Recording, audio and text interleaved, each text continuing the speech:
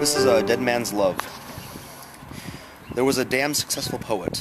There was a woman like the sun. And they were dead. They did not know it. They did not know their time was done. They did not know his hymns were silence and her limbs that have served love so well, dust and a filthy smell.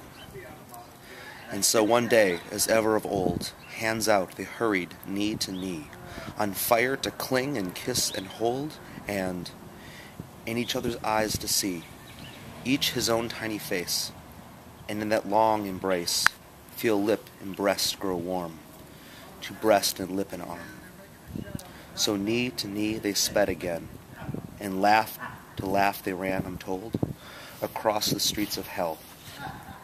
And then they suddenly felt the wind blow cold, they, and knew, so closely pressed, chill air on lip and breast, and with a sick surprise, the emptiness of eyes.